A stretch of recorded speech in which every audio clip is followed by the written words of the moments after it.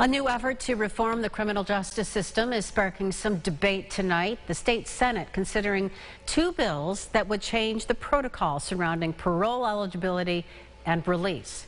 Kayla Green explains why some are finding it so controversial.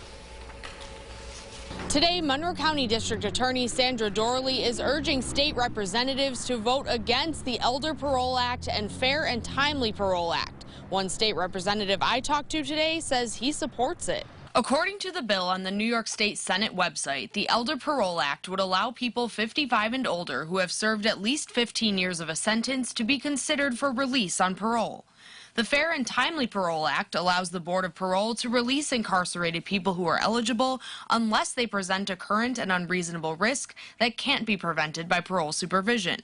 Monroe County District Attorney Sandra Doorley says she's concerned about both. You're going to have the most violent offenders in our community being released um, after serving just, you know, a portion of their sentence. State Senator Jeremy Cooney says this isn't a get out of jail free card. It's a chance for incarcerated people to have a chance. Individuals who may have done a wrong in the past can sometimes, in some instances, change.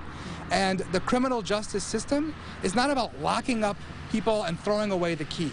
It's about finding improvement and opportunities for them to better themselves. She also says nobody is thinking about victims in all of this. They had some sense of relief that the perpetrator would be in prison for 25 to life, and that's not going to be the case. Gates Police Chief James Van Brederode says he believes this legislation would harm the community. Predicting future behavior from people is, is not a perfect science, and uh, I, I think this would create a lot of anxiety and stress for these victims. Both bills are currently in the Senate committee.